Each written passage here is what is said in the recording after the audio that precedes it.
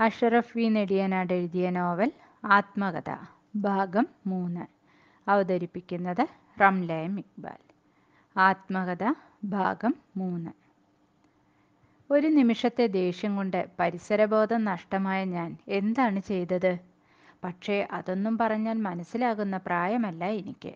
ഒരു കൊച്ചുകുട്ടി എന്ന ലേബലിൽ സുരക്ഷിതനായിരുന്നു ഞാൻ. അനിയന്റെ ശരീരവും അമ്മയുടെ വസ്ത്രങ്ങളും രക്തത്തിൽ കുളിച്ചു. എന്താണ് സംഭവിച്ചതെന്ന് എല്ലാവരും ഒരു നിമിഷം കൊണ്ട് മനസ്സിലാക്കി. പിന്നെ അമ്മ കരഞ്ഞുകൊണ്ട് അനിയനെയും എടുത്ത് ഇടവഴിയിലൂടെ താഴോട്ടോടി.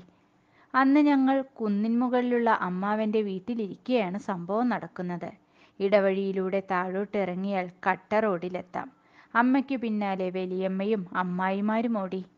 അമ്മ കരഞ്ഞുകൊണ്ട് ഹെൽത്ത് സെന്ററിലേക്കാണ് ഓടിയത്. അവിടെ എത്തണമെങ്കിൽ രണ്ട് കിലോമീറ്ററോളം പോകണം. പിന്നാലെ പലരുമുണ്ട്.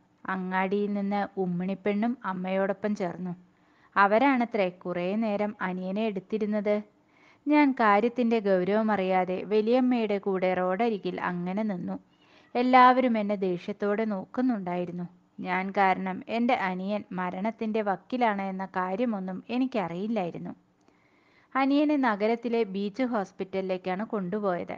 പിൽക്കാലത്ത് അമ്മയുടെ വാക്കുകളിൽ നിന്ന് എനിക്ക് ഗ്രഹിക്കാൻ കഴിഞ്ഞത് അമ്മയുടെ സ്വർണം വിറ്റാണ് അനിയനെ ചികിത്സിച്ചത് എന്നാണ്.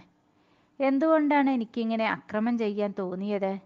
എന്തുകൊണ്ട് ഭക്ഷണം അനിയന്മാർക്ക് വീതം വെക്കാൻ എന്റെ മനസ്സ് സമ്മതിച്ചില്ല? ഇതൊക്കെ പലപ്പോഴും ഞാൻ ആലോചിച്ചിട്ടുണ്ട്. സത്യത്തിൽ ഞാൻ മൂന്ന് വയസ്സുള്ള കുട്ടിയല്ലേ? ഒരു കുട്ടി നിഷ്കളങ്കനല്ലേ? സഹോദര സ്നേഹവും പങ്കുവെക്കലും കുട്ടികൾക്ക് കഴിയേണ്ടതല്ലേ? അതിനൊരു ഉത്തരമേ ഉള്ളൂ. പ്രായമൊന്നുമല്ല. അവനിലെ സോഫ്റ്റ്വെയറാണ് എല്ലാം തീരുമാനിക്കുന്നത്. വിവേകം എന്നത് നാം കൃത്രിമമായി ഉണ്ടാക്കുന്നൊരു സഹനശക്തിയാണ്. ഈ ശക്തി വർദ്ധിക്കുന്നതാണ് സാമൂഹ്യ ജീവിയായി മനുഷ്യനെ പരിണമിപ്പിക്കുന്നത്. അവനെ സംസ്കാര സമ്പന്നനാക്കുന്നത് അനിയനെ ബീച്ച് ഹോസ്പിറ്റലിൽ പോയി കണ്ടത് ഓർമ്മയുണ്ട്. അവൻ എന്നെ കണ്ടിച്ചിരിച്ചു ചിരിച്ചു. അല്ലെങ്കിലും അവൻ എന്തറിയാം? അച്ഛന്റെ കൂടെയായിരുന്നു നഗരത്തിലേക്കുള്ള യാത്ര. അന്ന് ആദ്യമായി ബസ്സിൽ കയറി. മലയും മരങ്ങളും എല്ലാം പിന്നോട്ട് പായുന്നത് ഞാൻ കണ്ടു.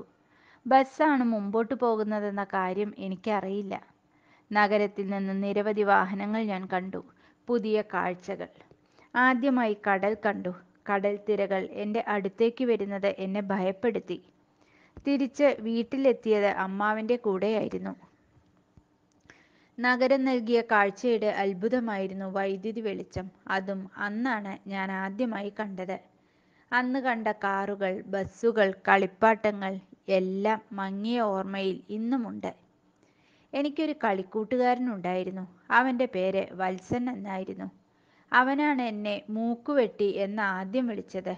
ഞാൻ മൂക്കുവെട്ടിയും അനിയൻ മുറിമൂക്കനുമായി.